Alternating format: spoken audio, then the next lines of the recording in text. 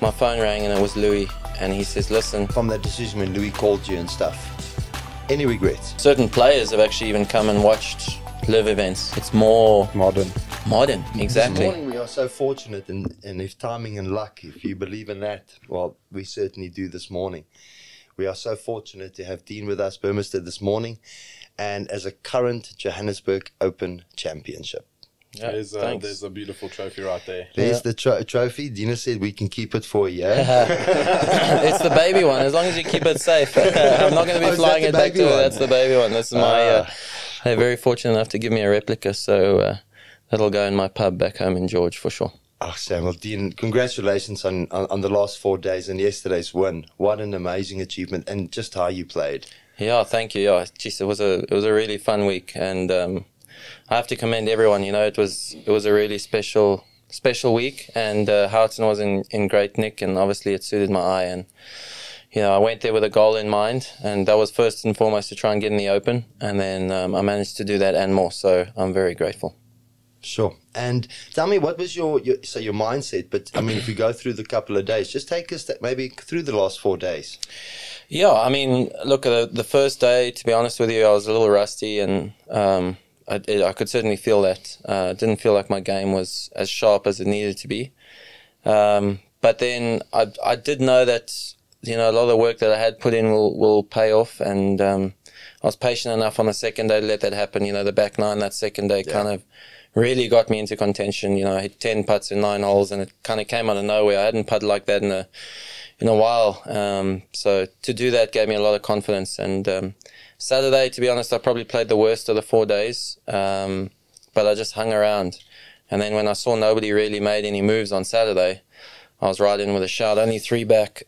so, um, you know, when, when it came to Sunday, I, I really woke up. I actually had a little bit of anxiety, a little bit of butterflies when I woke up in the morning, which is a good thing. Um, that means, you know, you care, and I talk about that all the time. You've got to have that, otherwise, you know, what are you what are you playing it for? You know, playing the game for, and and the competition. You kind of need that. So when I woke up with that, I, I had a really really good feeling, and I just went through my process. Um, and by the time I got on that first tee, I was ready. I was ready and raring to go. So. Um, when Tristan obviously had a little bit of a bad bad start and brought everyone back, you know, I was only one back after two holes. All of a sudden, that was kind of the dream start for me. That was exactly where I wanted to be. So, I knew if I just uh, stuck to what I was doing and not worried about what anybody else is doing, um, you know, I'll get the job done. And um, I managed to do that. Yeah, I tell you, that 15th was an incredible hole. Just Yeah. I tell you. some big drives on 15, Yes. Yeah, yeah, Like 15. The I mean, Kiwanis that had to come through there. bro. I was uh, I was actually telling Jason. I said, "You know what won us this tournament?" And he said, "What do you mean?" I said, "We hit the second fairway every day, Yeah. and we hit the 15th Those are fairway the every day." hardest holes. So that you know that took me out of bogeys on both of those holes where guys were making doubles and bogeys all over the place because they're two fantastic golf holes. You know, both of them are are really really tight, and but if you get a drive away, both of them are a wedge in. So um, that made a big difference for me, and obviously the birdie on 15 yesterday was was kind of the, the little cushion I needed for sure. Well, just before we carry on, um, four European wins now officially from yesterday. Yep. Uh, nine Sunshine Tour wins. Um, and then obviously a Liv golf player. Um, joined about a year and a half ago. Am I right? Yeah, yeah. I joined. Um, so I joined February of this year. Um, our captain Louis Oosthuizen gave me a call um, while I was actually busy with PGA Tour tournaments, and um, yeah, it was a, a little bit of a toss, toss and turn kind of decision. But at the end of the day, I'm very happy with the decision I made, and um, yeah, I get to play golf with three guys I admire and, and look up to, in Louis, Brandon, and Charl. and um, to be an all South African team um, and kind of represent South African and team aspect is is really special. And um, you know we achieved some great things this year together, and, and certainly had a lot of fun. And on top of that, I get to uh, spend a lot more time with my family and my kids. So it was it was a really cool decision, and and um, I'm very happy. Obviously, you know the dream of the PGA Tour when you're a kid growing up was something I had to weigh up. But at the end of the day, I mean, my kids and my family come first for sure. Sam, you know, I mean, Arthur and I were speaking, and it's we knew that part of that decision you made, but we'll get on to Liv now. But if you don't mind, just give us a bit of insight into that call from Louis. How does that work? And Um, so we were. I was playing in the Amex, um, and it was the Tuesday before, my phone rang and it was Louis, and he says, "Listen, I'm kind of a little bit in an, I'm in a bit of a jam, um, but um, Brandon and Charl both said I need to give you a call and at least give you the option. Um, we feel like you deserve it. You've played some great golf, and it's a career, you know, it's a life changing decision. is, yeah. um, so he said, you know, you don't have a lot of time, but we're here if you need if you need to ask any questions and you need to know anything. We're here to answer everything we possibly can, and um, please don't hesitate. But make the decision for you. Don't make it for anybody else. Um, and yeah, that's that's pretty much how it went. It was a really kind call, and it, was you know, it was up in the air. There was he was like, I, I don't know how you feel about it or whatever, but I'm just want to give you the option. It's there if you'd like it, and um, that was very very kind of him to not kind of push me in a direction one way or the other. And I uh, I asked a few people a few people I admire's advice, um, including the three of them. And um, at the end of the day, yeah, I, I went with the decision I thought was correct for me. How long did it take you to make that decision? It took me about three or four days, um, and a lot of uh, lost sleep. Yeah. you know, um, I you know I had a good start on the PJ Tour as well. You know, I Yeah, played. yeah, you did. I played at that stage. I think I played seven events, missed one cut, had a couple of top twenties and a top five, and so I, you know I was top fifty on the money list. I was having a good season. Yeah. So um, That was your official ranking, yeah. yeah, so and you know I was close to top fifty in the world. Kind of thinking about am I going to get into Augusta or not get into Augusta, and then um, you know there were there were really big events, no cut events on the PGA Tour, and um, I asked for invites into all of those events and didn't get invites, which is understandable. I mean I was a rookie and and all those things, but that that kind of made me. Feel like you know what more do I need to do to get to get into Augusta? It's a dream of mine to play there, and it's really tough to get into. And and when I had to weigh that up and you know financial security for my family and time with my kids, it was a no-brainer. So that's what it really came down to. Is I've been trying to get into Augusta, and I've been top hundred player in the world probably for the last three or four years, Yeah. and um, I still hadn't got there. I was like, well. I'm not getting any younger, so I think I think the right decision is to to spend more more time with my family. Sure. I mean, you know, on that note, when you speak about top 100 and, you know, you got close, so close to top 50 um, on the official ranking, you are such a low key person in golf. But, you know, when, when we spoke, the achievement that you guys have done, you know, if you just look at the Stingers team and the people that's in there, there wasn't big successful, you know, if you go to the old guard, Ernie Els, you know, back in the day, with Retief. Retief, you guys are that next generation, which is just incredible, and how many people look up to that, and how many people now get excited about golf, and how South African pro players can now achieve and look at something that's just amazingly achievable.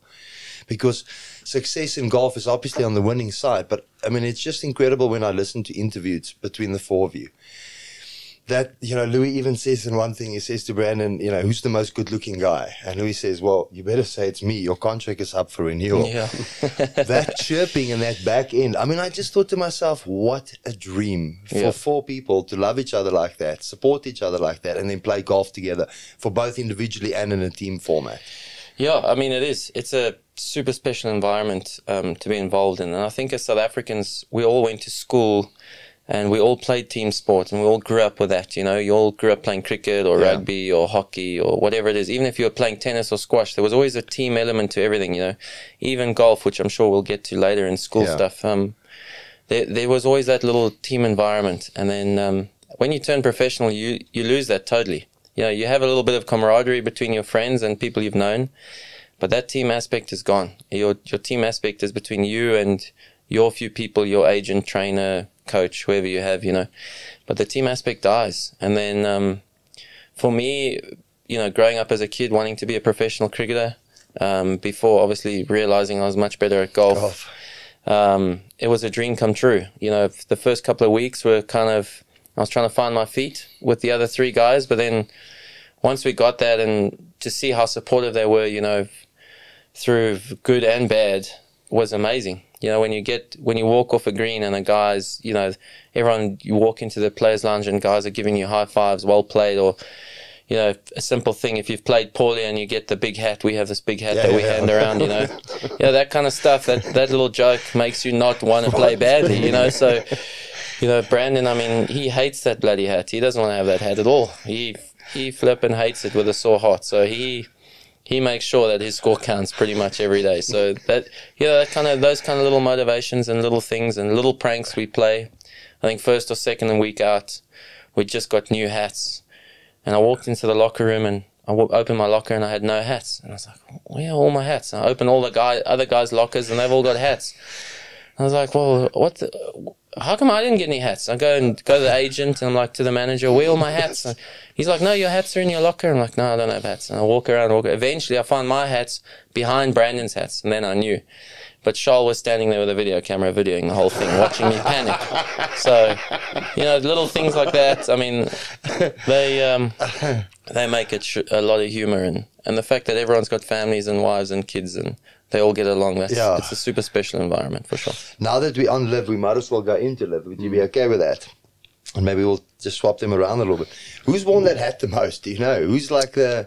Uh, I mean, this season I'd probably have to say Charl. I, we, thought Charl. He's been carrying that I hat think so. He says he, he pretty much owns that hat. I mean, he's, he's paid his dues. He thinks so. I think I think he's going to come out firing this next season. So uh, on Liv Tour, um, just tell us a little bit about the team dynamics. Now it's it's a very strange thing. Fifty four holes, you know, you've got team play and individual play at the same time with a shotgun start. What is that team dynamics like with other teams and com- camaraderie? We obviously know you guys are incredible at it, but what is that like versus a PGA or European tour? Um, so in Europe, it was when I started in Europe. We we were fortunate enough to have a lot of older guys there. Um, you know, the likes of Darren Fichardt, Yes. um, you know, Thomas Aiken, Richard Sterne, even, you know, Hennie Otto, Trevor Fisher was playing, U- Ulrich van den Berg got his card back. So when I was in, you know, kind of starting out in Europe, we, we all used to go to meals together and we all used to kind of hang out and, you know, away from golf, always played practice rounds together. And, um, but then as the years went on, you know, things kind of s- split up. You know, I think, I don't know if that's more money or, more opportunity, or guys just you know started to move their own ways. The guys went to America, um, other guys had to come back to South Africa, but that dynamic started to get lost, and then um, you know it it kind of became very singular. Then I went to the PGA Tour, and it was I mean You're you're a Pat Malone, you're on your own. That's it. You are. It's a seriously seriously lonely place to play golf. It's probably the most competitive place to play golf. So on the golf course, it's it's second to none. I mean, if you you make a bogey, you don't drop, you know, five places or, you know, you drop 20, 30 Yeah, yeah, yeah. places. You Yeah, know, yeah, you've, you've got to have your A game pretty much week in, week out there. You go out there and have a B or C game, you, you're missing the cut. So, um, but then away from golf, I found myself very lonely, sitting in a hotel room, having room service on my own because there was no one to go and eat out with. There was no one to go and do anything with. No one would do anything. Everyone was just so golf directed, and it was just one way traffic. Um, and then you get to Liv, and you've got some of the best players in the world who've played on the PGA Tour, Yeah. done all of that, Yeah. Major champions. major, Major champions, all are littered with major champions. And Top um, ten players. you know, now you've. I'm gonna have breakfast with Cam Smith, and we Yeah, we yeah, don't yeah. even talk about golf. We talk about catching fish or DJ, or you know, go with Bryson, and we talk about, you know, why he's speed. using why why he's using a Krank driver. Yeah, you yeah, know, yeah. Spe- I spent 30, 40 minutes with him on the range, and he's explaining everything to me, and it's it's fascinating. So to have that opportunity of guys to actually open up and give advice, and you're able to learn, I think is second to none. You know, and then to be able to watch guys like Louis and how they prepare and you know why his putting stroke is so pure Yeah. and you watch what he does you know i try and emulate that i try and i try and see what he does and learn from it and and get better and also use their advice you know mentally you know brandon grace has got to have one of the best mentalities in world golf it's golf. incredible Yeah. so to be able to spend time with him and and really spend time with him you know last time i spent time with him we were juniors really spent time with him so it's um it's an incredible place to play golf. That dynamic, the team dynamic, is interesting. There's certain teams that gel really well. You know, I think the the teams that have guys all from the same country tend to do better. Um, but then a, a team like the Crushers, they have a really good dynamic too. And, you know, they've only got, you know, they got Chucky Three Sticks, Charles Howell, who's an incredible human being, Bryson, who's turned out to be a really good leader actually for the whole yeah. the whole league. He's Yeah. he's um, he's really turned out to do something special. Then you got Anirban from India and Paul Casey from England, but they seem to gel really well. And you know, then you got the RangeGoats who also gel really well, and they're also massively diverse. You know, they've got four totally different characters in their team. Um, and then you know, you got some teams that that still need to kind of find their way and find their feet. But I think that's the beauty of the the team aspect. You know that um that kind of team dynamic is is something you you can't buy. It's something that'll just happen. It'll flow into. So I suppose it also is conducive to create far better friendships and long-term bonds when you have that type of casual interaction and time spent with each other versus on the PJ where it's sort of individually focused. I think definitely. I think um, I feel like you're you're able to to be remembered as well. I think you know with Liv, I think PJ Tour. I mean, if you won two three times on the PJ Tour and had one bad season and you were off, no one would no one would remember. Yeah. No one remembers. You know, they forget unless you win a major, nobody remembers. But with Liv, you like you say, you build those relationships with people and and you you know people you admire. You know, I've been fortunate enough this year to play with some amazing golfers. Amazing, you know, Phil, Bubba, guys I used to watch. Yeah, yeah, yeah. You know, and I mean, when a guy like Phil comes up to me and we're in the final group on Sunday and I'm playing with him and Cam Smith. And he comes up to me on the putting green before we tee off, and he's just like, "Listen, Dean, you've had an incredible year. You should be really proud of what you've done this year. Well played." Before we go tee off, I'll go to the first tee buzzing. you know what I mean? Yeah, yeah, But if I go if I go in a PGA Tour event Yeah. and I was probably playing with the same two guys, that wouldn't have happened. So that dynamic is is super special, and I don't think you can you can kind of get it anywhere else in golf. It's I Liv golf is a really really cool place to play golf. That's for sure. And from uh, you know, looking back now, just on that a little bit, you know, from that decision when Louis called you and stuff, any regrets? No regrets. Absolutely none.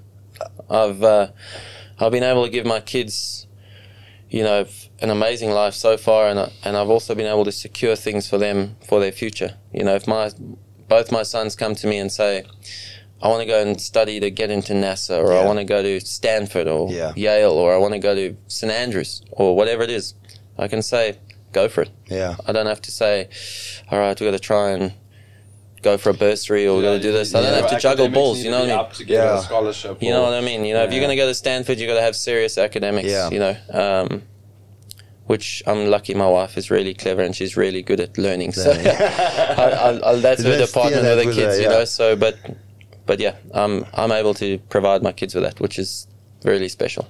And there's there's and I've looked at there's not a lot of information on what the format, the 54 holes and the shotgun starts. So do you mind just taking us through that a little bit? And, And the adjustment. Obviously, it's a big ju- adjustment, yeah. adjustment Yeah, as so well.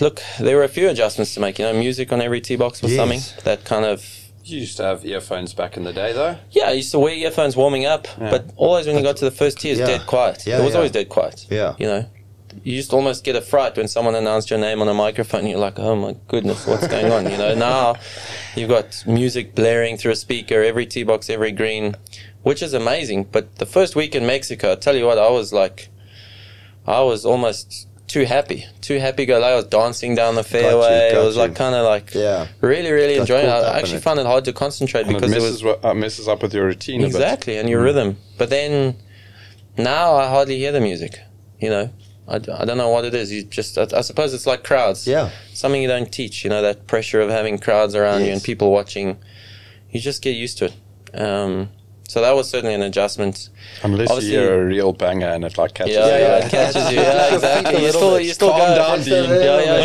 yeah. Get back in your zone. You know, get into your, you know, get into your routine. Get, you know, that's true. I mean, and there's some bangers. There's some good ones. You know, I mean, yeah. And then sh- shotgun start. Um, that was something. That was something unique.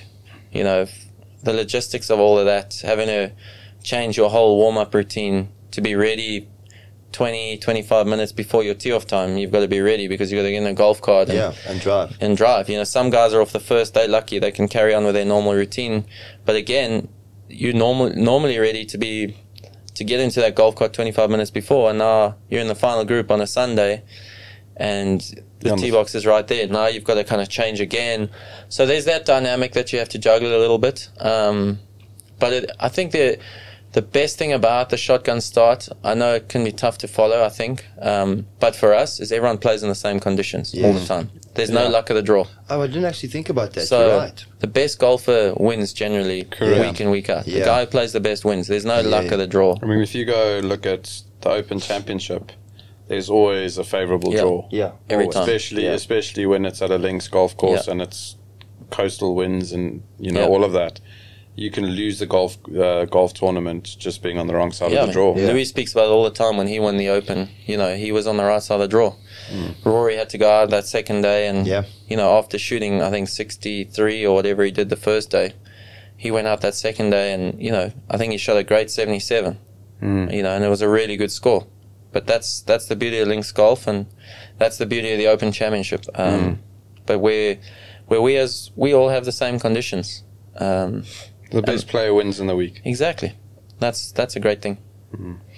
I mean the the it's a incredible dynamic. So now at the moment between Liv and the PGA, where do we stand with all of that? Jeez, who knows? Is it? Your guess is as good as mine. So I suppose we know as much as what we always also see. You know, I there mean- this big talk at some stage. Yeah, there's a lot of speculation and there's a lot going on. Okay. But to be honest, I think they've been told they need to keep it quiet, and I think it's a good thing because we don't want all the rumors flying around Yeah. because there would be there would be so many rumors about what would be happening.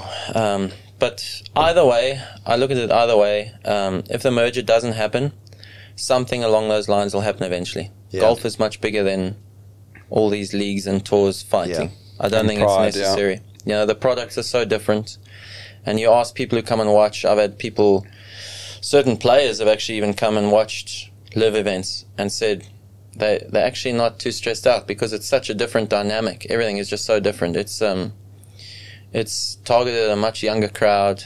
It's, it's more Modern. modern, exactly, mm. you know, and, and there's a place for that Yeah. but there's a place for Yeah. natural four round competition, heat of the battle golf as well. Yeah. You have to make the cut, get through, get into Sunday, try and win the tournament. Yeah. You know, there's there's there's always been a place for that.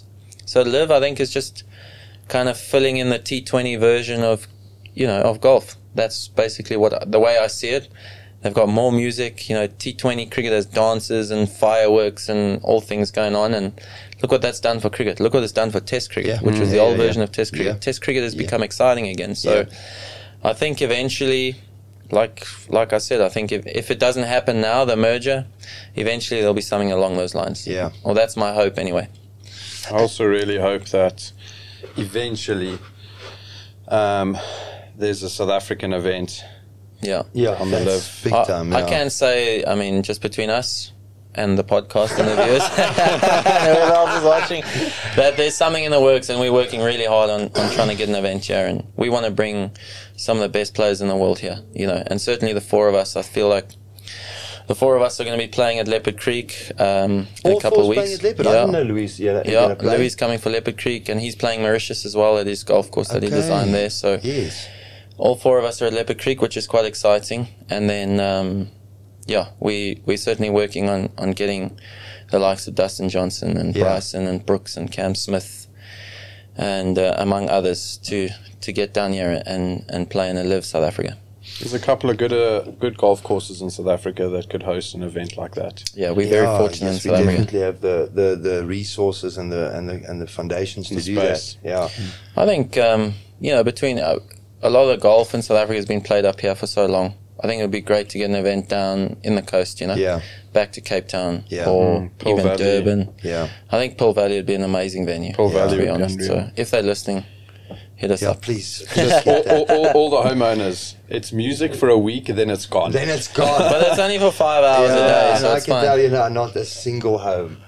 Um, unless there's a car in, you know, which I'm assuming there at Bull Valley is a couple. Yeah. Uh, no Yeah. one's going to moan about and or a quiz. yeah, I mean- Kevin. So we'll have to. I mean, we'll have to wait and see how it all pans out. But there's certainly something in the works, and we're working really hard on on that, amongst other things for for us as a brand. So it's cool.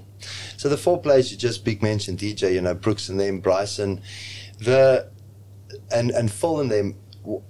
I don't mean, want you to speak for them, but what are what are they like, and have has have they got any regrets on what this big move done? And So the way I can probably explain that is, um, I think if you went to ask any one of the players on Liv Golf, would they go back and play on the PGA? I think everyone would say no. okay, That would be my answer. That's what I would say. yes, Uh, I honestly think Liv is, it's kind of the, the top echelon reward for Yeah. everybody who's put in the hours and put in the work, and now they're able to still compete, do what they love, but have fun yeah, and um, and play a little less, you know, for a little bit more. I don't think there's there's anything wrong with that. So, you know, DJ I think answered it once. He says, "Why wouldn't I go? Anybody else, if you were offered another CEO job Yeah. for less hours in a week, for double the pay, would you take it?" yeah, Everyone would say yes. yeah. So it's only controversial in, in golf all of a sudden, but this these decisions get made daily in any Exactly. other It's a no-brainer decision, to be honest. Yeah, I think so. Um, yeah, I think so. I think When the only settle down. guys that might, and I'm not speaking on behalf of them, but the guys that fall out at the end of the season, obviously it's a touchy or weird dynamic to be in now. Because where do you go? yeah, You know? Well, fortunately, look, Liv's relationship with the Asian Tour, um, you get offered a two-year exemption to go and play in the Asian Tour, so you have okay. somewhere to go. okay. because they also own a big part of the Asian Yeah, tour. so yeah. so that helps, you know. And those international series events are only going to get bigger and better. I mean, Yeah. I was fortunate; I played in a couple in the UK this year, and they were they were great events. They were put on really well. Um, the golf courses were in good condition, and I I think that relationship when it tightens up and gets better, and the plan is for those international events to get to you know four or five million dollar events. You're going to have guys from Korn Ferry Tour and Yeah. DP World Tour and stuff wanting to come and play those events. So Mm. because at the end there's a carrot. You win that order of merit, you get into Liv golf. Yeah. You know, and then you do well in that order of merit, you get to go to the final qualifying event and only play in the last two rounds. Yes. And there's three spots up for grabs. So you got you got opportunities to go and seriously, seriously make Something. make something, make some generational wealth, and do something. Before we get on to a bit of the sunshine, just the last question on Liv. How does it work? Um, how do you stay in the team? So in the beginning, um, everyone was kind of offered contracts. So when your contract's up, the year your contract's up, you've got to finish inside the top 24 to guarantee your place. Okay. Um, and then the the captain of that team then has the option. So you're guaranteed the top 24 to have a place, regardless of what team you go Got to. you. Got you. But more often than not, the way I see it is the the captain's always going to offer you the spot Okay. because you'd be a top performer in his team if you're Yeah. top 24. Um, then if you are 25 to 44, I think it is, yeah, to 44, um, then you go into what they call like a draft window or a, a trade kind of window. Then you, they have the captain has an offer, an option to renew your contract for one more year.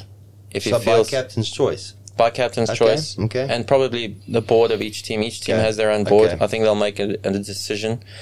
Um, if not, another captain can also offer you a contract if you're in there in that space. You know, there's certain guys. I think like uh, Graeme McDowell was in there this year. Um, Pat Perez, he just got re-signed by the Four Aces. So I think DJ just offered him an extension on his contract for a year. Um, and then you know the bottom four guys unfortunately have to leave because you have to make way for new guys. Those those spots I mentioned, the winner of the international series, and then the three qualifying places. So, so the bottom four, unfortunately, you don't get any renewal. And then um, if there are extra open spots in your team, that could be filled by anyone. Okay. So anybody can put their you know resume forward Yeah. to a Brooks Koepka, for instance, who's going to have a, a spot in his team, or a Martin Kaymer's got a couple spots in his team. You know, so you can go as a captain, you can go and do your homework and not poach anyone, but you could go and ask around and see who would be interested and see if you can offer them a year contract and whether they'd come or not. Um, but yeah, for, for the Stingers, we locked up for this year coming up, so that's exciting. 24 and then 25, we'll see. Hopefully, none of us finish in the bottom four, and then we'll be locked up Get again. locked up again. So we're Ru- good. rumor has it that there was an Aussie trying to poach you. There was for a little bit, um, but Louis laughed that off pretty quickly. Yeah. The bloody Aussies, where it's like all the guys moving to Australia Yeah, and they can't poaching get our. cricket. They can't get us in rugby. Now they're trying to get us. Gone. Yeah, I you know what I mean. I played with Cam Smith in Tucson, which was I think my second or third week out, and he went straight to Louis and he said, "Listen, yeah, for next season, what's it going to cost me if if Dean wants to come? I like the way he plays golf." So, you know, I don't know if that was a little bit of That's, banter a, or anything, that's but also a compliment. but Yeah, it was a, it was a massive compliment for me. That was quite a boost for me Yeah. um, because I watched, I think I watched him chip in three times that day. So it was, uh, and, you know, I was kind of mind blown. But um, yeah, Louis laughed it off and said, "No, there's there's no chance. He's in for me. He's with us next year." So it was nice to know that Louis had my back too.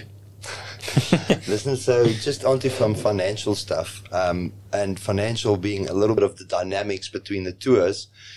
Um, firstly, you spoke off off record here, or or um, before we started here this morning about penalties and how it works to, to come and play now the co-sanctioned events with the DP tour. Yeah. Just take us through that dynamic. Yeah, so obviously, look, when I moved to Liv, I still had hopes of playing on the DP World Tour, so I kept my membership. I didn't resign immediately um, because there was a court case looming and everything, and I was, you know, I was hope, I was very hopeful that um, DP World Tour might lose that case, and that would give me the opportunity to go back and support the tour and play. Um, whether they liked that or not, I wasn't sure, but you know, f- from my my standpoint, I wanted to play in these events, support South Africa, um, and then on top of that, there were there's very special events and relationships I've made over the years in Europe with people um, that I would love to support and play in those events. So that was my thinking, but unfortunately, uh, well, fortunately or unfortunately, the DP World Tour won that case, um, and then I was liable for fines. Um, so after they won that case, they then sent me a document with uh, the amounts of fines that I had to pay for the five events I think I'd played up to that date. I then resigned after that, so I was only liable for those five events. So if I ever wanted to play on the DP World Tour, I, I had to pay my fine, um, which was you know two hundred fifty thousand pounds um, to tear up in certain events, and in order to support Mr. Rupert um, at the Dunhill Links which he was very kind enough to give me an invite into. I um, I then ended up negotiating a deal with Liv and everyone else to get that fine paid, and that got me the opportunity to play. So um, now, obviously, after this week, who knows? I've obviously got a category on the DP World Tour again if I'm if I want to take it. So I don't know what this, the next step forward is. So I think we'll be in in, conser- in conversations with everyone and see what the, the best step forward is. But obviously, I'd love to support the tour and support the Sunshine Tour. They've been so great to me over the years. You know, they gave me a, a front foot, um, and I've still got amazing relationships today. You know, Selwyn Nathan, Thomas Abt, Mr. Johann Rupert, um, you know, the late Sam Hackner. You know, I've still got a, a great relationship with his son Gary, and um, you know, for for all of that to kind of just fizzle out because I cho- I made a decision for my family, I think was unfair. So I'm very fortunate that they have stayed open to us playing and uh, gave me the opportunity to win this lovely trophy. I tell you what, we just breezed past that type of stuff, but I mean, 250,000 euros uh, penalties. It's uh, amazing because, you know, you, you guys are so humble, and I think South Africans around the world, you know, if even if you look at the the the, the previous generation of legends in South African golf, everybody's so exceptionally humble. But I mean, the money that you throw around there, it's millions and millions of rands that you now Yeah. work in your life with. Yeah, I mean, I suppose that comes with the territory. Um, it's a it's a very very giving sport. You know, there are very select few that get to that Yeah. that kind of echelon of the game. But if you do, and I'll say this to all kids who are watching, you know, if you do stick to your guns and you do work through it, I mean, it's tough. The the first Arth knows he's he played for a long time on the Sunshine Tour, and we played a lot together. Um, and Eric, you know, and we we all kind of grew up in the same sort of sort of era, and it's you know, there's a bit of luck involved. You get your opportunities, and if you take those opportunities and that little bit of luck, then you get rewarded, and that's the game. You know, golf is golf is like life. It's tough. You have your ups and downs, your knocks, and there's more downs than ups. Um, you know, a, a golfer is a professional loser. He's a guy who's lost a lot. A winner is somebody who's learned out of losing, and um, every time you win, you should seriously, seriously cher- like cherish it and, and enjoy that time Yeah. um, because they don't come around too often. There's very few that it comes around to every year. So um, yeah, I will say that to kids: stick stick to your guns, and it will reward you, even if it's not as financially benefiting as you think it is in the beginning. if you keep doing it, you'll you'll get there. You know, and um, with golf growing as much as it is, it's one of the only sports since COVID that's growing as fast yeah. as it is. Yeah. The money and, and the financial benefits are just going to get more and more and more. Yeah. So that's exciting.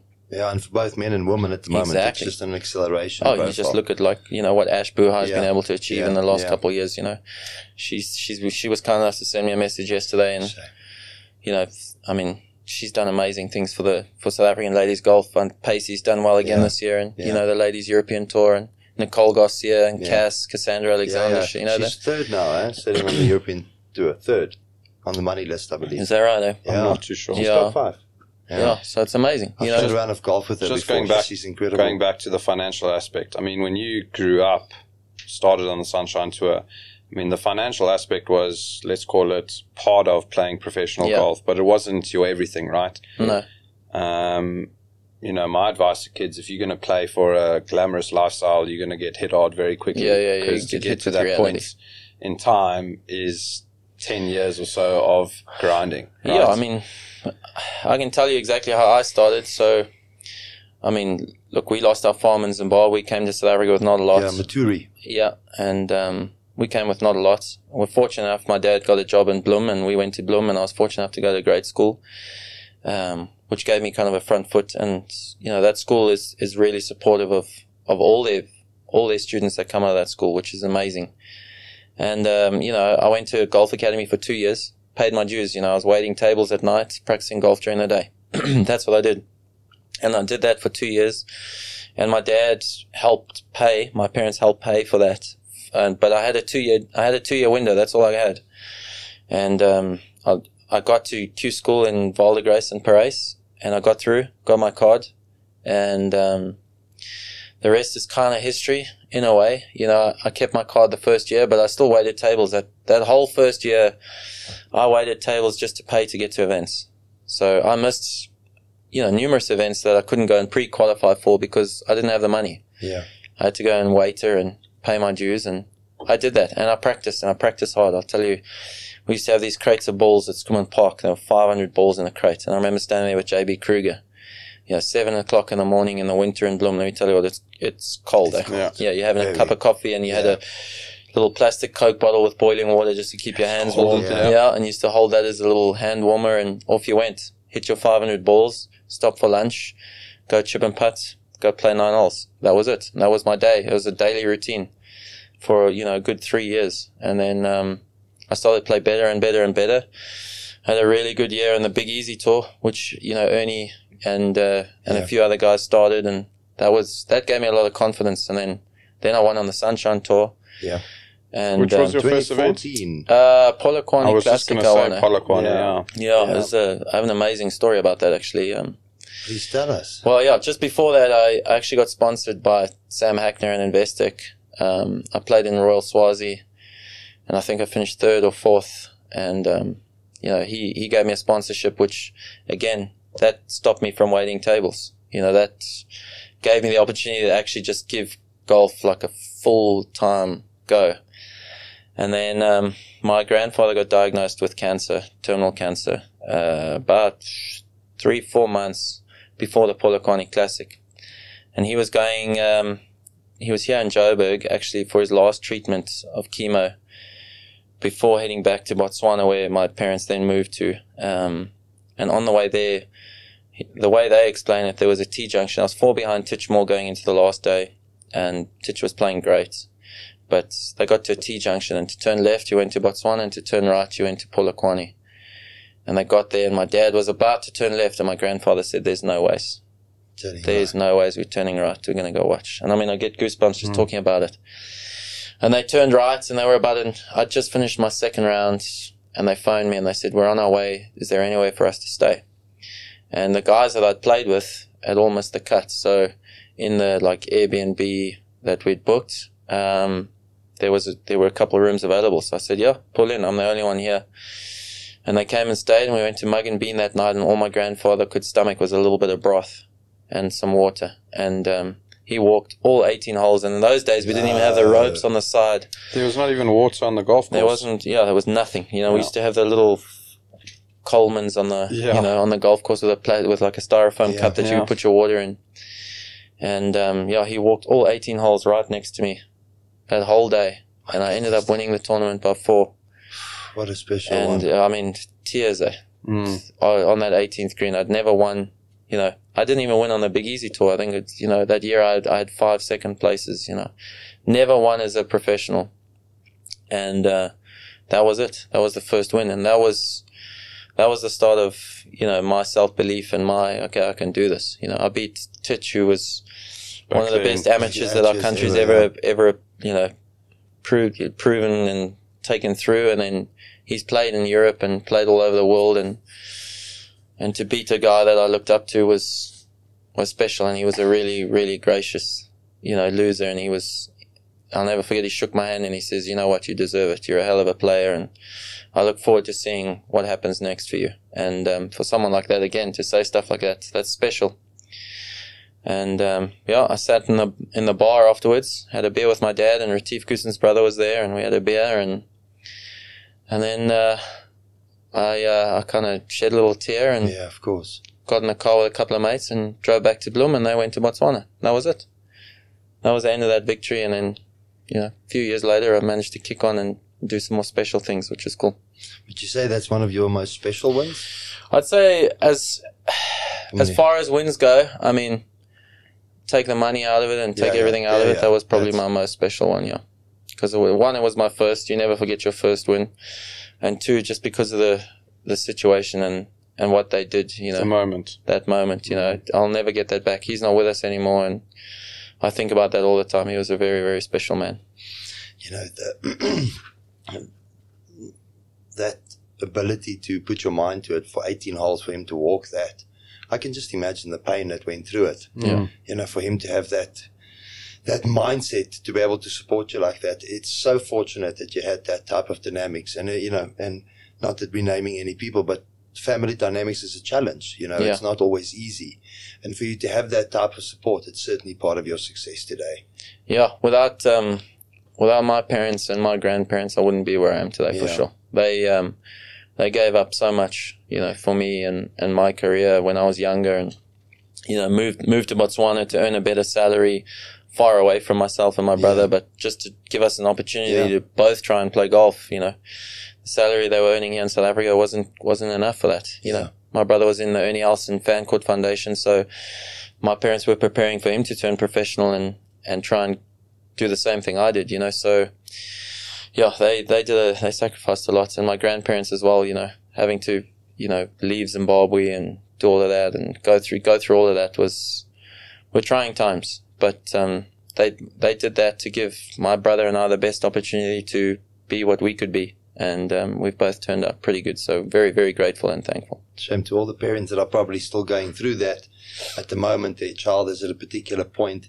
Thank you to all of those parents that Yeah. are brave, and hopefully one day your son or daughter can sit here on this chair or a chair and Yeah. thank you in the most gracious way that you just did. That would uh, that would be very very very very special for me. Um, now that I'm a dad, I, I think I understand it more than ever. more, Yeah. Yeah.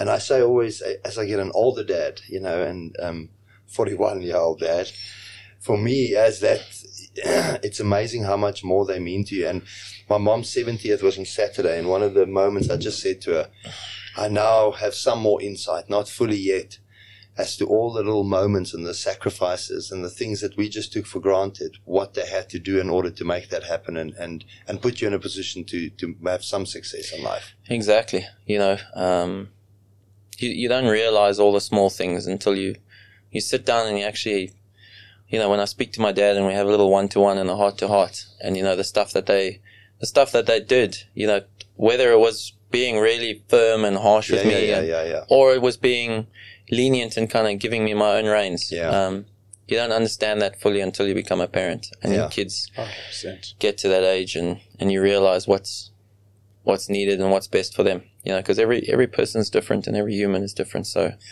it's pretty it's a pretty cool thing to go through as a as a human being. It's Yes. it's pretty special.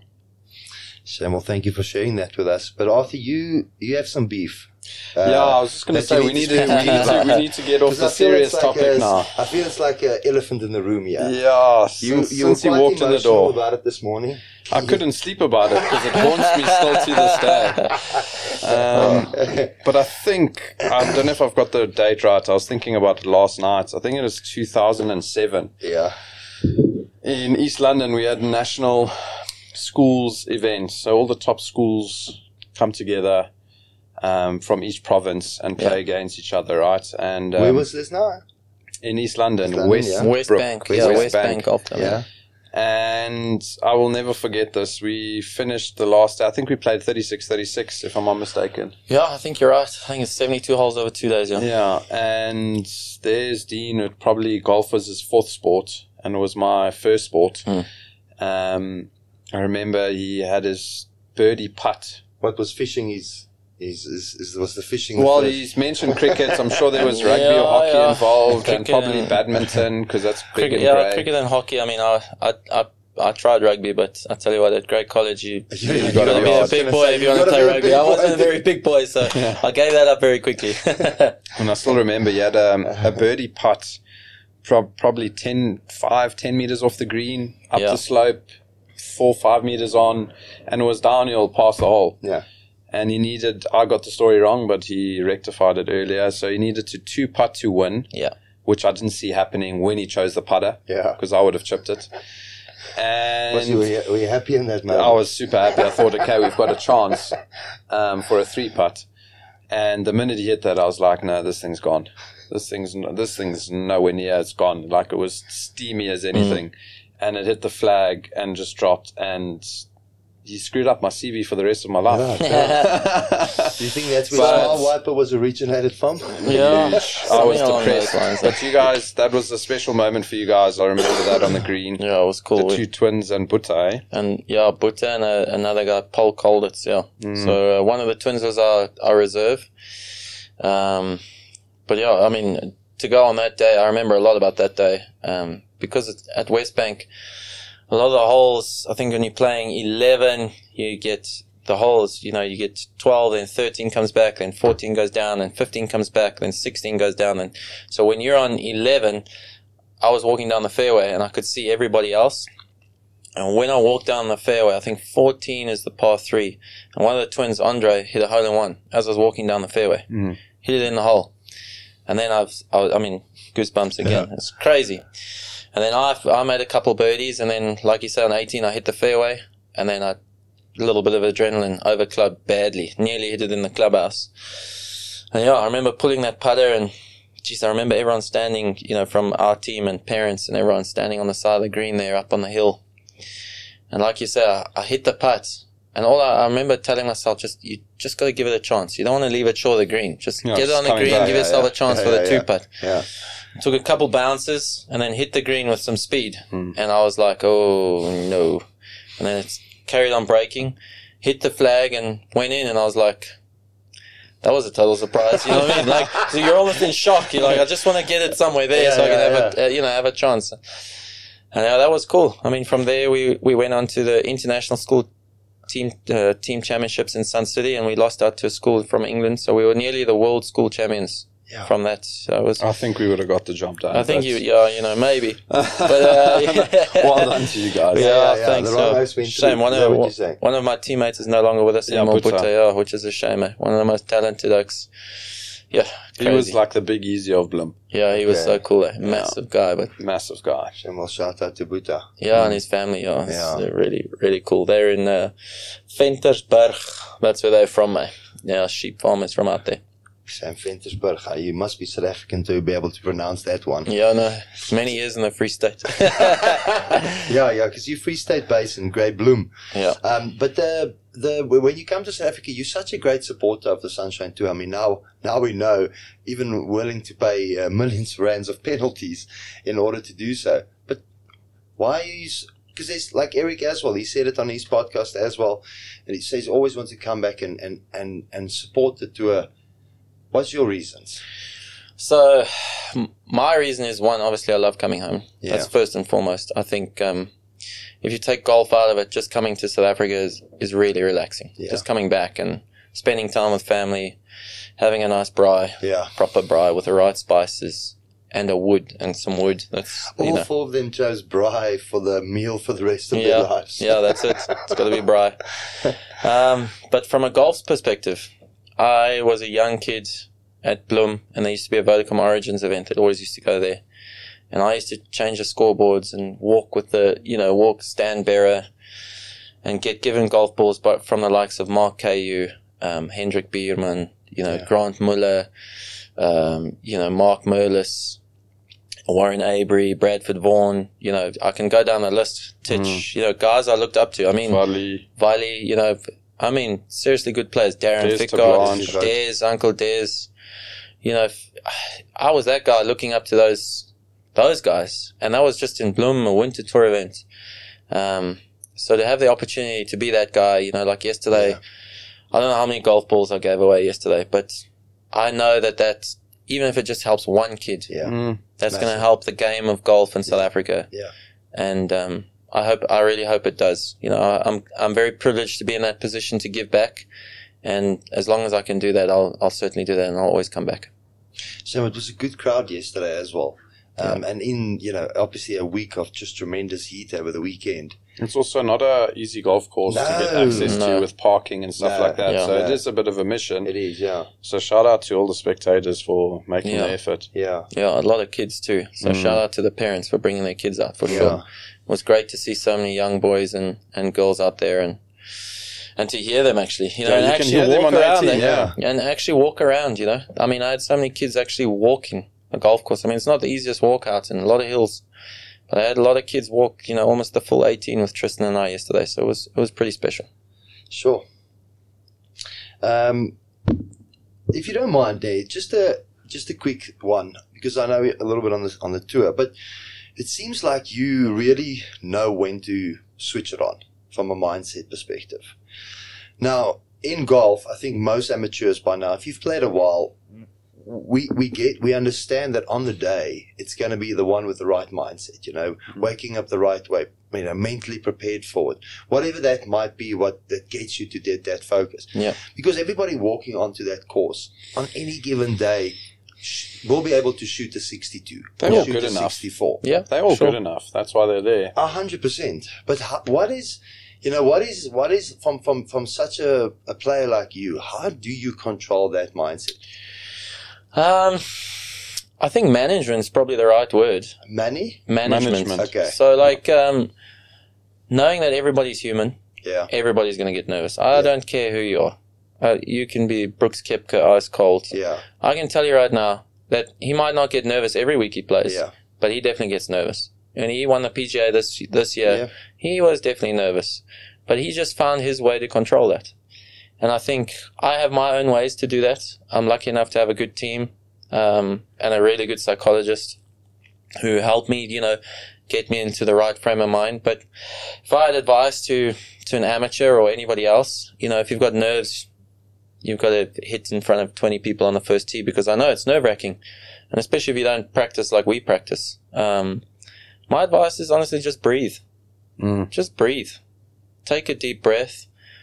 They can say whatever they want. I mean, they Yeah. can't control what's going on inside you. Only Yeah. you can. Yeah. Breathe.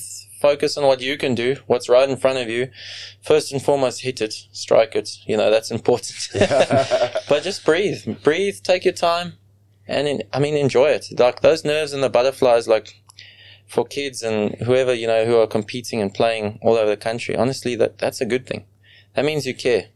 And if you care about something, it means you, you're willing to give up everything to, Mm. to do it and achieve that. So nerves are, are super, super important. I think when the nerves are gone, then you game need to stop playing Yeah. yeah. um, in my opinion. So use them. Use the nerves. Take a deep breath. Focus on the target, not the focus, bush. Exactly. All I think about, honestly, all I think about is my target. I don't Mm. think about a swing thought. I don't Okay, think yeah, I about no, anything. anything. I don't think about anything. When I'm playing golf, I try and think about as little as possible. I try and keep my routine the exact same time every time. Don't rush it. Don't slow it down. Keep it all the same. You know, don't let a guy hitting it out of bounds and having to hit another one, or don't let you waiting on a tee box affect you. You don't start your routine until it's your turn to hit. So those things are important. and um, yeah, enjoy the ride. I mean, it's just a game. Mm. It's and it's a hard game. When you realize how hard the game really is, you know, then it'll help you be a better player because it is a hard game. So make notes for club champs, eh? Yeah, Please. yeah, yeah. you know, it's sort of my mindset as well. so I can see where he's where he's. This is all this personal from. gain It's all for you. personal. You. know what I mean? When I, it's, it's pretty much where my pro mindset myself is. but then you, wh- what haunts you? And and I don't mean to ask these things, but you guys, and especially you know, call it there's about fifteen of them. That's got this incredible.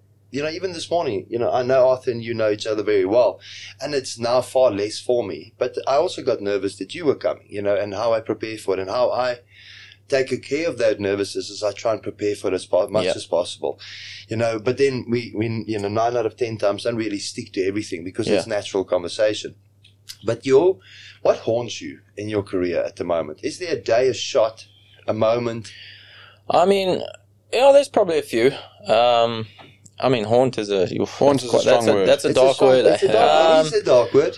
But I've I've definitely lost sleep over over a few tournaments. Um, there was a Joburg Open, Darren Fichardt won, that I was leading going into the back nine, and I exploded.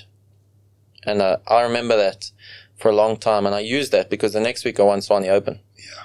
But I used that, and I remember that. That's something I always remember is when I whenever I'm in, I'm in contention and I hit a bad shot, is to not explode because that exploding and that that made me shoot two or three over on the back nine, and I ended up finishing third.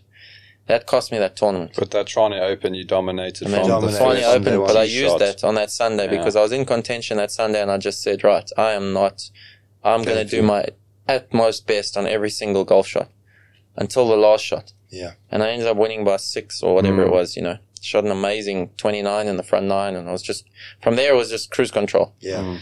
Mm. Um, but yeah, I used that and I remember that. And I'll always remember that. So, So, that, back nine. negative turned into a very good positive Yeah.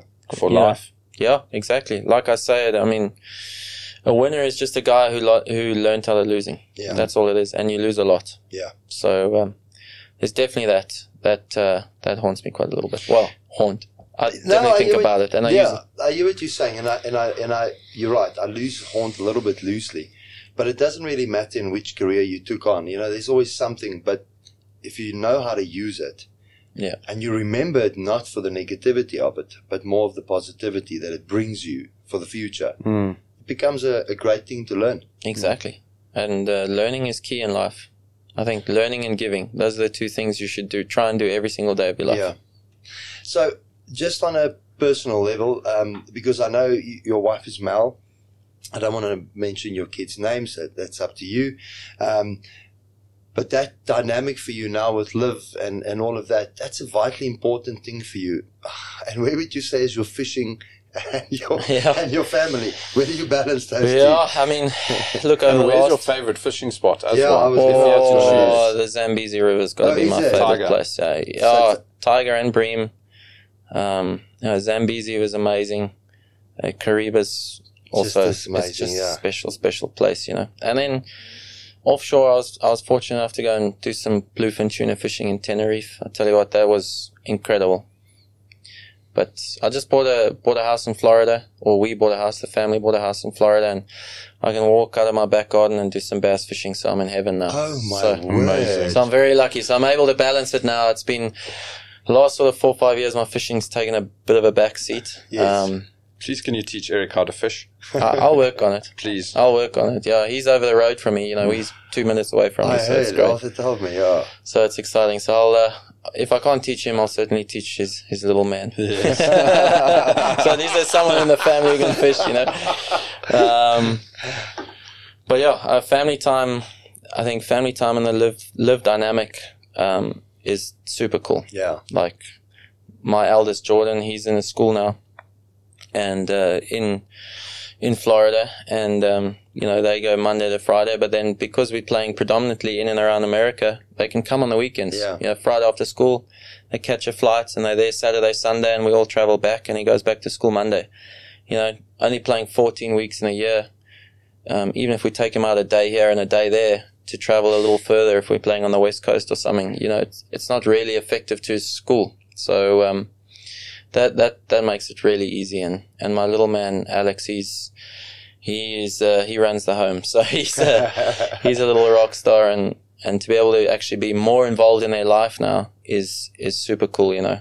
So that that's probably the greatest thing about making my decision is being able to see my family. They probably travel, you know, nine out of the fourteen weeks with me. So Oh, that's awesome. that's yeah. pretty cool. So it's um, whereas on the PGA Tour, and all- years all before, I was you know thirty plus weeks every year, and you know if, if they did ten or twelve, that was a lot in school holidays, and you know to to not give my kids a real holiday and school holidays almost felt unfair. They were always traveling to golf tournaments, and you know we don't do a lot of golf tournaments as golfers. You're at the hotel golf course.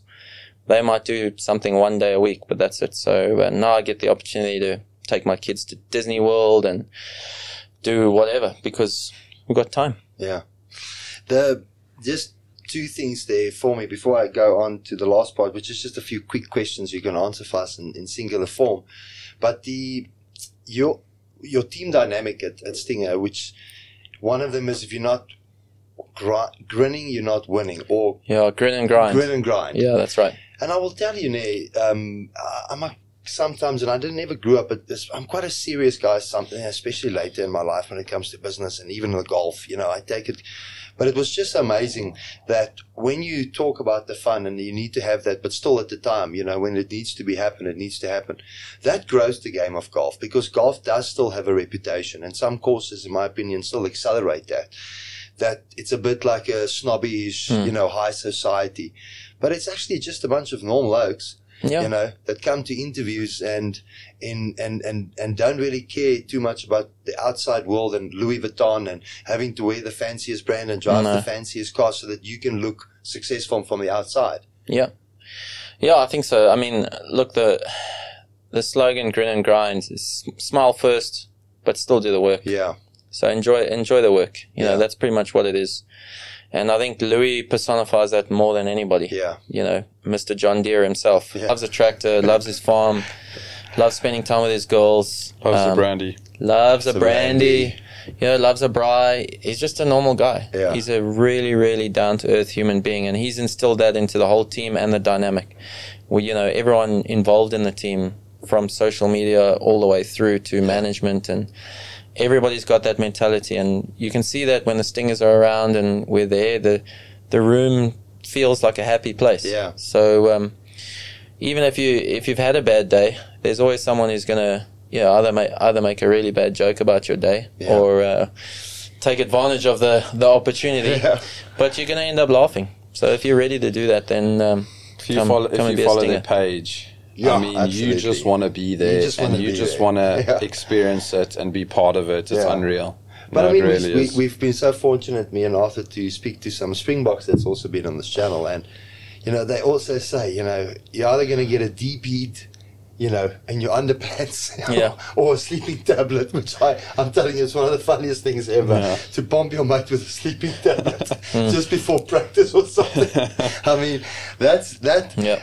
But when it comes, when they need to do what they need to do, you know, they perform. But that keeps us the human. And I also for men, you know, and, and I say specifically for men, it just never changes. You know, when I speak to my mates when they're, they're 70, 80 years old, they're still the same guys. You know, their bodies might not be exactly the same, but they still want to chirp the same thing. They still, you know, enjoy the same humor between mates. And to me, when I'm in an environment like that, you just create far better performance. Yeah. You know, to make it human. But yeah. I mean, if you look, if you look at it, I mean, this is very cliche, cliche. yeah. But everyone wants to live. Yeah. Yeah, for yeah, sure. exactly. You know, For sure. if you're just serious Susan Yeah, for yeah. the rest of your life, you're Yeah. not living. Yeah. Right? No, you're not. So it's always nice to to joke around. I love messing around and Yeah. giving Yeah. people shit all the time. Yes. You know, Yeah. that's, that's why I say Eric can't fish. Yeah. No. he needs to jack his stuff up. yeah, eh? man. I mean, so it's it's important. It, I think it's something in life that you you have to do. Yeah. You know, life is too short to just worry about where where the next rand or where the next dollar is coming from, and Yeah. worry about everything, and then not stopping and having a brandy or smelling the roses. I mean, it's a, a South African term, have a brandy. I mean, I want to know how much Richelieu the Springboks drank Yeah, after the World Cup victory, because all every video Yeah, that of I a saw. South African speedo and a brandy was Yeah, in every yeah. video. So I mean, Malcolm Marx on that one video with JP was just gone. Mm. I mean, Malcolm looked for the first time I saw him vulnerable yeah, at five o'clock in the morning. With, Yeah. with the brandy Yeah. ice and the smile and, and drinking out of the cup. and what did Damian Willemse do with his kit? That's mean, what I want to know. I did he ever wash it? Did I he not wash it? Like I that's something that should be I- I- a He might still be in it. We, Yeah, we need to yeah, check. you know. We need to check up on that. Ah, look, that stuff is that's the stuff that you know makes the Springboks great. Yeah. Is to show that they're also just human. Yeah. You know, when you're a kid and you look up to them, man, you think these guys are like superheroes. Yeah. yeah. But then when you get older, you realize Mm. they're just like us. They're Yeah. dads. Yeah. They they're just guys who have really great friends that are all really good at one thing, Yeah. and um, that's pretty cool. So hopefully, We can get number five. exactly. Well, I tell you now, between our, the golf at the moment and where we are, I mean, we were just riding a, an incredible wave, you know, despite some of the challenges we face here on a daily basis. Yeah. But I want to just ask you one more thing on the main questions that you always say if the hands could talk. Mhm. You, you have a saying in that, and I've heard you say it a couple of times. Give us something that your hands can tell us that we might not know or have heard. Oh, I mean, with regards to golf or just life, Your choice. man. Um, geez, that's a that's a Putting you a bit on the spot there. Well, no, not really. I, I tell you what, I can take you to the the hundred and fiftieth Open. So, uh, it's probably the greatest spectacle of golf I've ever been a part of. I mean, it was incredible. One, St Andrews. Two, the Open. Three, the hundred and fiftieth one. Like Yeah. Yeah. I mean, the only the only thing that uh, that was probably missing was that Tiger didn't feature on the leaderboard. I yeah. think you know, but all credit to Tiger playing. You know, just teeing it up. But I have a really really good story about that. And um, we were on the driving range, and my caddy Jason is the biggest Tiger fan ever. I mean, he'll hate me for saying this, but his email address is tiger66 at gmail.com. So he, you can imagine. I mean, don't don't put that on there, please. But I mean, you bleep can it laugh out. about it. Just bleep it out. Well, they will beep it out for Yeah, us. bleep it out and have a After the laugh. Joburg Open Yeah, yeah, victory, yeah. you might Yeah, have a lot of DMs. Yeah. Yeah, he's gonna have to change his email might, he might have to change it to Tiger.2. Yeah. Well, let me just say, okay, his email address has Tiger in it. Let's just say that. Okay. So, but we um we played the first round, and um we played okay. I think I shot a couple under, and um anyway, Tiger was getting ready to go out for his afternoon tea time, and I was doing my warm down the range. And at the back of the range, in true English sports fan fashion, they were betting on which bay, because they're each numbered, Of right? course. Tiger Woods was going to uh, hit balls in. And Joey LaCava, who I know, I've met a few times, um, was still working for him, walked onto the range and dropped the bag in the middle of the range. Because he obviously knows, you know, the guy's going to bet. And I'll never forget this. I was in Bay 22, which is my wife. That's our lucky number, um, my wife and I. For, for some reason, a two has happened in my life with everything. But I was in Bay 22 and I was hitting balls and hitting balls and hitting balls. And then I got to driver and this guy behind me shouted, okay, and I, I can swear, right? Yeah, of course you Yeah, can. is yeah, that right? of course. So uh, he says, okay, I hit one drive. And Joey Carver had now moved the bag closer. He's now on Bay 23. And this guy had obviously bet on 22. And I'd hit one tee shot and I nuked it straight down the range there. And this guy just shouted from behind. He says, okay, Burmy, that's enough. You can f off now. so I, was, I turned around and I said, okay, as long as, as long as I get a piece of the cut, then Yeah. you know, I just need a piece. Yeah. But Tiger then walked onto the range, and I've never experienced a silence like that. You know, I've had, I've been lucky enough to have an experience with him in my first ever major at Shinnecock Hills. I slam dunked it for two on 18, and he was on the tee box behind 18's green, and he gave me like a little fist bump. And then in the locker room afterwards, he said, "That was you who hit the second shot in on 18." I said, "Yeah." He says, "Man, that was an amazing vibe. What a shot." So you know, I've had that's about mm. my Tiger experience, but when we got to the open and he walked onto the range and that's silence, then you real I realized his aura, you know, as a as a person, as a human being, you know. Yeah.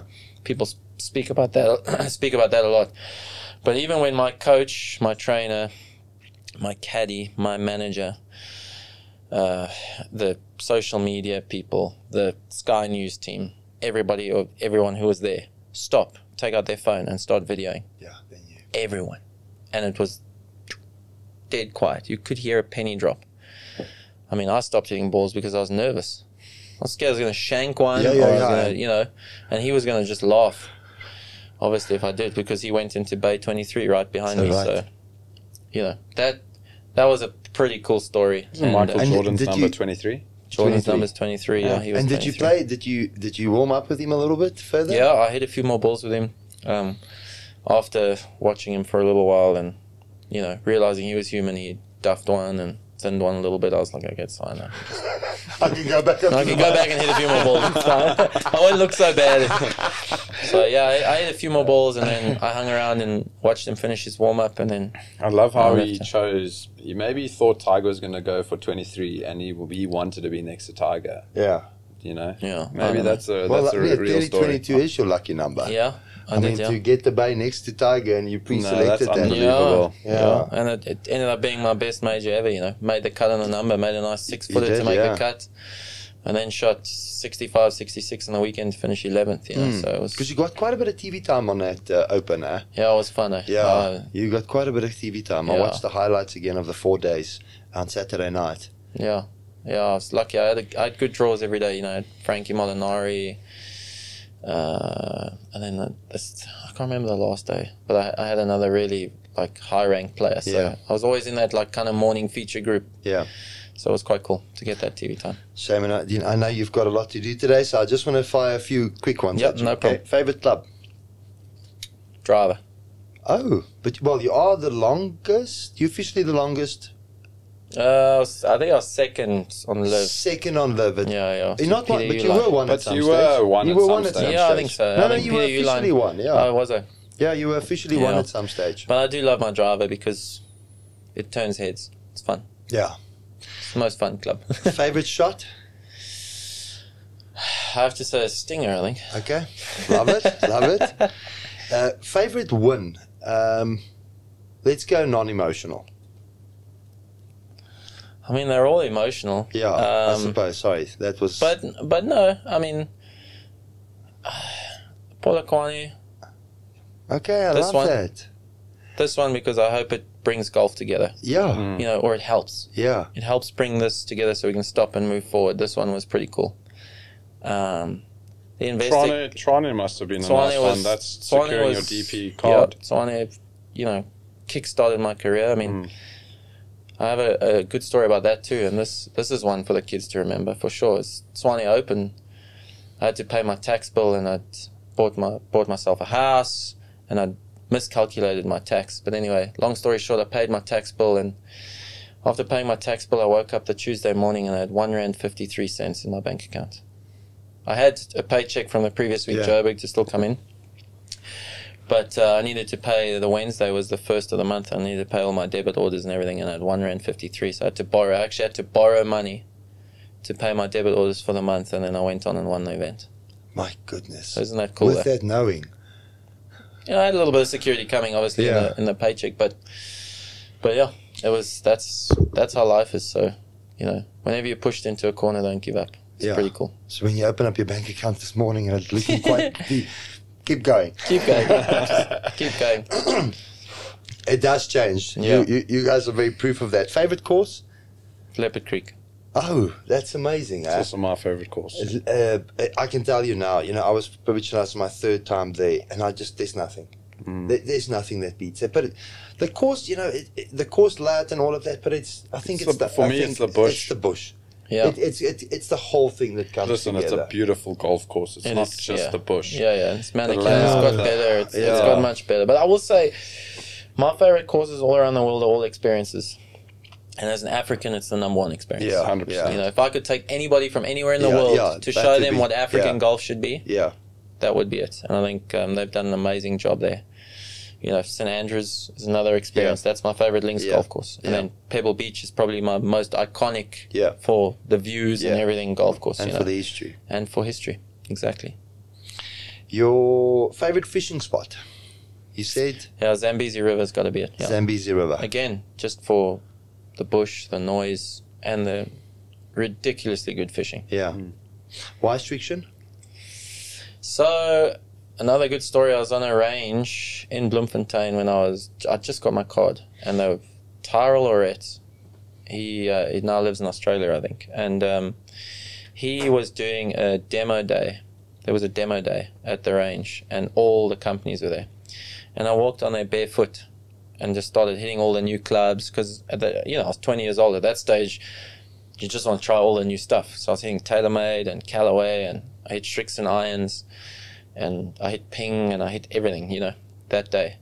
But I was hitting balls there, and he said, "Do you mind, you know, hitting a driver?" Well, hit a driver, hit another driver, hit another driver, Barefoot. barefoot, and uh, well, I mean, as a Bloem boy would Yeah. be, Why, right? why, why, why, why would you have shoes on? yeah, yeah. And um, he said to me, "What's your name?" I said, "No, my name's Dean Burmester." He then made a phone call to Mike Powell right there on the spot. Said, "Mike, there's this kid. His name's Dean. He's just got his card for the Sunshine Tour. We need to we need to grab him." So that was it. I was Srixon from then on. Um, So Tyrell wasn't with uh, Adidas and no, Taylor it wasn't Adidas then. TaylorMade then. And then he moved to Adidas TaylorMade and Adrian Rietveld, and uh, they poached me for I think it was a three-year deal. So I went to TaylorMade for three years. That's when I won Tshwane Open, and uh, I was in Europe then, and that was I mean amazing company as well. But then when they did their kind of merger and got bought out and everything. There wasn't really space for many contracts, and um, I was still using the Srixon ball, and uh, the guys at Srixon Europe were were amazing. You know, with with allowing me to still use the ball and and because I loved it just for low spin. So I've always used the ball. I've used the ball since I've been a professional, and um, I'm very proud to be back with the company and still using the product and the ball and and enjoying it.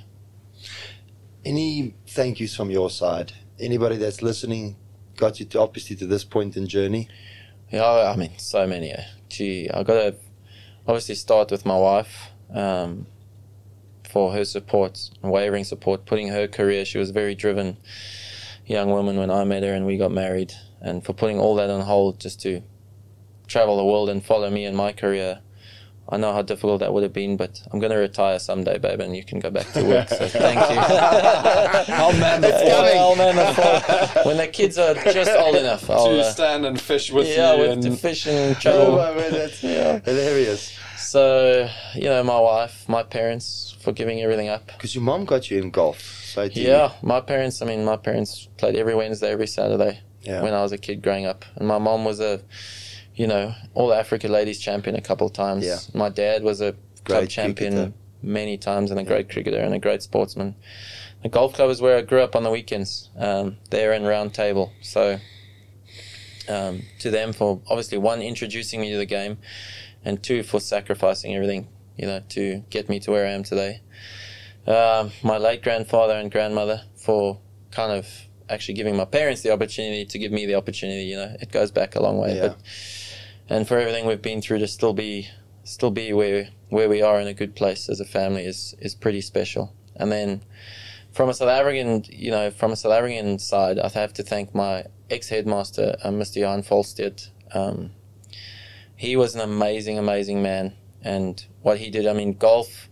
When I was in Grey, golf wasn't a sport; it was a club.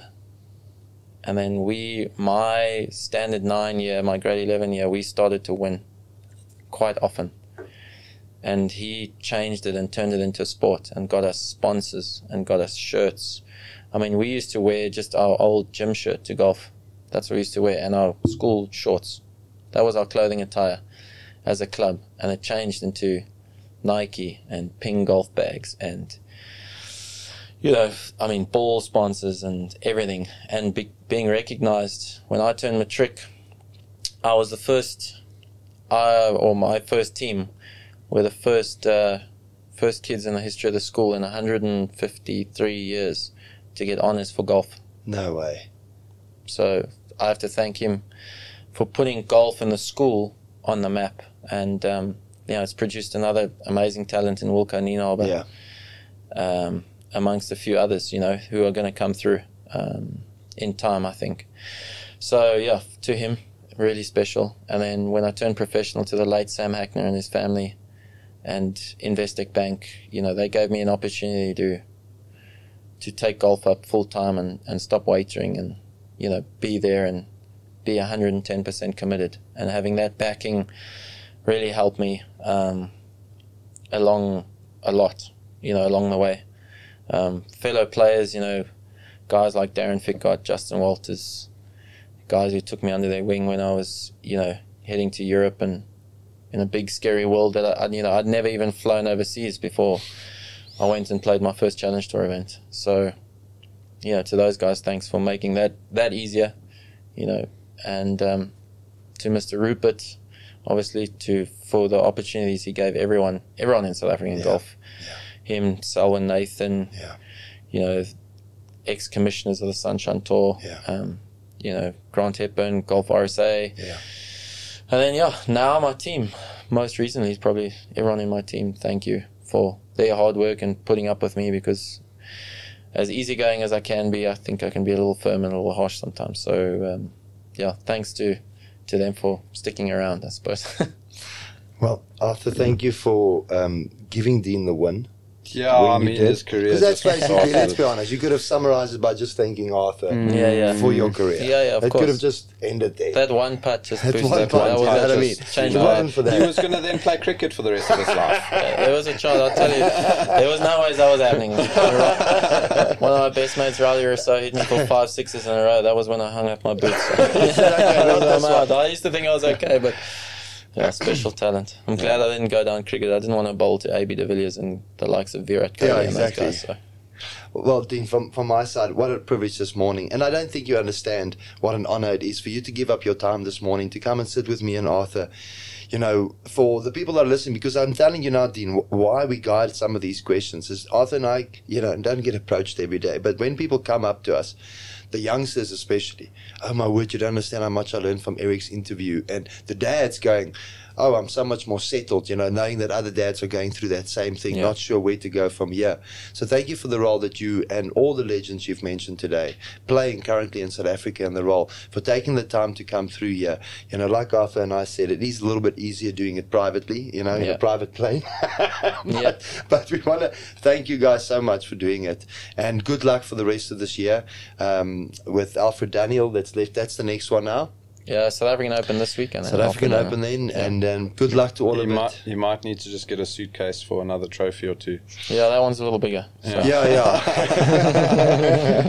and everybody that contributes towards it. I think that, you know, for those that are listening, thank you for those that went out this weekend and watched and are watching on Supersport, even yours, because that adds to the sponsors of it, you know, to give views and stuff onto the onto Supersport and the camera work. I mean, just at the moment with the tracing and everything that they're doing. And remember, in an established, and not that we're not established, hear me out, but our tournaments are still growing. It, Yeah. You know, it's now all of a sudden I start to feel like an not an American, but real. I feel real big tournament when you when you go to these events mm. now.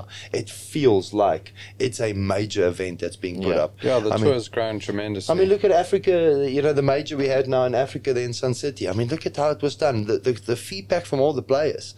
It, it's that win from Max is literally, you know, being listened to in the American players, and I bet you that's going to maybe pull a few of them next year to come and do it. I think so. I think um, golf's in a healthy place, and I think a lot of guys are realizing that they, they still need to grow the game because Yeah. the, the game is 100%, yeah. growing. So the only way to grow it is take golf all over the world. Yeah, Let it keep going. You know, Yeah. there's nothing better than for little kids to watch the likes of Justin Thomas and Max Yeah. Homer and yeah, Louis Shaw. Yeah, You know, Dean. major winners. yeah, Uh, you know, myself, Brandon, yeah. and Eric. You know, everybody who comes back, it's it's big, and you you only realize that when you were that kid. So, yeah, well, I think um, our events are, are really special, and the Investec South African Open is going to be going to be a big week this week at Blair Athol, and I know that um, Richard Wainwright and his whole team and everyone at Investec has, has done an amazing, job in job, putting on the event. Yeah. So I tell you what, now I'm sitting here thinking that their boys trip. You know, if you think about a boys trip for golf, we're all meeting at Leopard and playing a, a tournament. that's it. That's I going to mean, be so cool. isn't gonna be that great. just the sh- But you know what's the, you know what's even going to be better? The afternoon game drives with Louis and the bottle of brandy. bottle of Yeah, that's it. Fuck I tell yeah, you, yeah, A couple game drives, a lot of brying. I don't Yeah. think there'll be any use of the kitchen. I'll tell you that. Not at There'll be someone with a packet of salad and a lot of meat. I think that's what's going to be happening. But um, yeah, I, I really look forward to Leopard Creek. It's uh, it's going to be a special week for us. Well, Dean, good luck and thanks again for your time and enjoy your game, uh, game of golf also this afternoon. Arthie, Dean, always nice seeing you, Brew. Thanks too, for your Art. Thanks, time. Brew. It's nice seeing you again. And good luck for the rest of the two tournaments. Yeah, go out and crush it, man. Yeah. you know, Mornay, if you don't mind, you know, Arthie, I just want to say to you as well, thank you for your relationships, Brian. Thank you for this morning. And, you know, the role that he plays at these events and tours, mm. really, I, I, I know that you are very humble when it comes to Oh, those yeah. things. He's got me a backup putter. Oh, did he? Yeah, oh, you know Yeah, with a nice he has saved? I mean, I, must, I didn't definitely didn't save Dean. And but built my Toulon. oh, you see. you, you see, brand new Toulon because my other one cracked, so I had to oh, I saw organize you a actually brand new cracking one. it on the on the range. Yeah, so I got a That two brand new one, brand new one this week, which worked wonders. Thanks, Arts. Yeah, so there you go. for all the roles that you play, seriously, Arthur, for the way you give back and stuff as well. And I know this is a personal shout out this morning, but it's the uh, it's an appropriate um, um, um, Moment. moment or episode to do it with on. Yeah. And thank you very much for everything you do. I'm so proud um, that I can now call you my mate. Yeah. Well, you know, Yeah. you know what I mean. Just keep you know, working on Dean, it. Yeah, I'll keep working on it. You You know what I mean? Just to work you out our issues. um, giving back. I love giving back as yeah, well. Yeah, massive. give It's massive to your heart. So I can, I can't I can't give money back, but I can give my time. Arthur, you Time's worth do more than that, money, yeah, bro. and Yeah. you do that Tell you that every tremendously day of the as well. So no, I love what I do.